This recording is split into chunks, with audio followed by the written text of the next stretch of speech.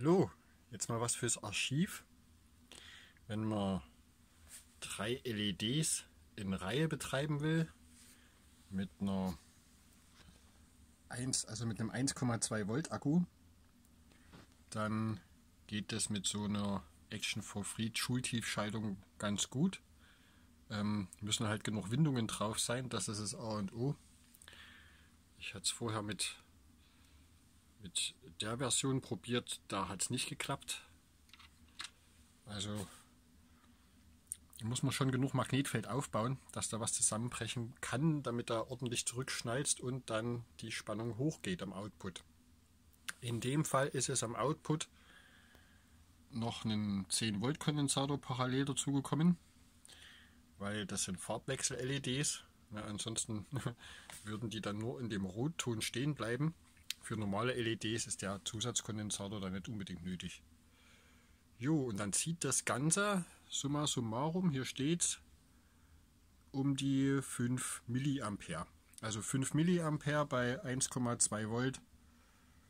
Das finde ich schon finde ich schon ganz in Ordnung. Kann man schon so lassen. Und dann wird es auch möglich, dass man mit so einem ganz winzig kleinen Solarpanel hier. Wo ist es denn?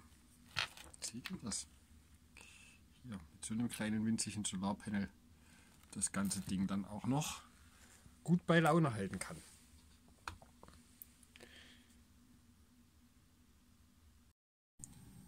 So schaut's fertig aus. Ja, für 1,2 Volt und 5 Milliampere ausreichend würde ich sagen.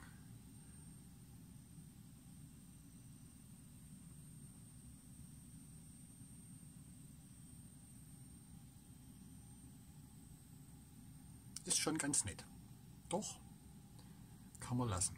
Also kommt man dann so mit einem 2 Ampere-Stunden Akku 2000 durch 5 und das sind dann die Stunden, wie lang es leuchtet, ohne dass es mit Solar nachgeladen werden muss.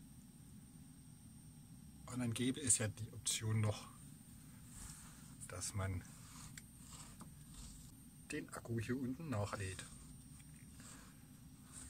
So, seid ihr im Bilde, wie man so eine Ansteuerung machen kann.